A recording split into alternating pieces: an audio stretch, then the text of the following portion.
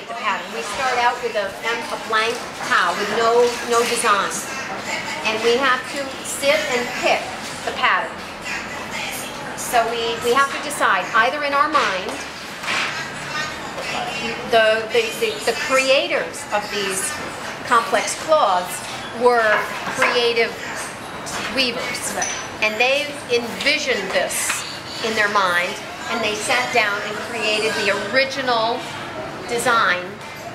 And they did that either by, in their mind, visualizing the image they were going to be weaving. In this case, the, the naga or the whatever the image is.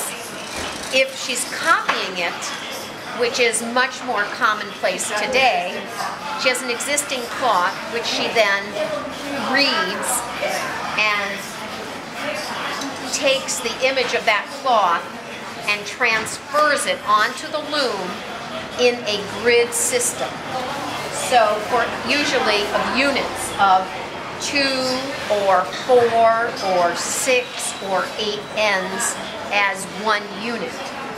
So this particular cloth is, um, there's a series here of threads that are raised and lower. and they're in units of two. So this is quite fine. So every unit we are weaving this. This is a shaman headcloth. So the units of two threads. Two threads, and then she. We have picked the pattern to determine which threads are going to be raised and which threads are going to be lowered. When we do that, we then insert one string to save the pattern that was picked to go up or down. The original one we have to pick by hand. Now we're going to take another row of our pattern, which we already picked. And we're moving, we're taking the picked pattern, and we're saving the order in which it is created and we transferred it from the top. It's a loop. We transferred it from the top to the bottom. She then inserts her sword and raised the long-eyed heddle to create a new row of pattern, which then, when it, the sword is turned on its side, tells her which threads have to go up and which threads are going down. So, so for example, she's raised her sword. A new row of pattern is laid out here. And now she inlays in the shed. This is called the shed, the separation. She now inlays her next row of pattern, thereby building her design, which she is now creating the elements of how this weave, this cloth is going to look.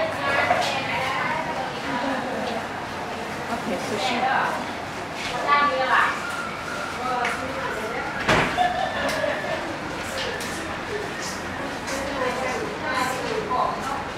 So that pattern, that is in principle, first we create the cow, the design, and we do that uh, based on two things. One, here there's a photo where we're actually creating the pattern. It's picked with a piece of bamboo, one row at a time, and then we insert this, the master strings, the master design are inserted. And then once we have the master template, any weaver then can sit down, who is a skilled weaver at this, and read the design, which we so you pick it out, you're then creating the the master template. Master. And then, in this case, Milavan is a very skilled weaver. She is reading the warp pattern as it appears and then knows how she's going to place the threads, the discontinuous supplementary weft threads across the face of the fabric. And she then builds her design. And she sees this when the when the sword is vertical.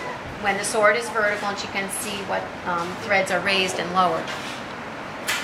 Now, this is a very important point in my mind, for where original creative weaving comes in. Because the creation of the design happens when we create, a, we have a blank, um, a blank um, canvas and then we create the pattern here. So the painter, the artist, happens at this stage, the creation of the stage.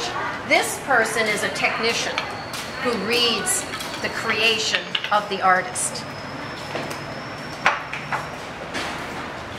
Although, even though she's reading it and it's already created, she can determine the actual individuality of how it This- appears this is what we- by the way she reads it. Okay, okay, so that new, but, so a second kind of creativity can come in. Yes, where, where the weaver, using the master template, which instructs her which threads go up and down, she then uses her own creative process to read those instructions and to create the color and the pattern according to her own wishes. So she can make changes in it.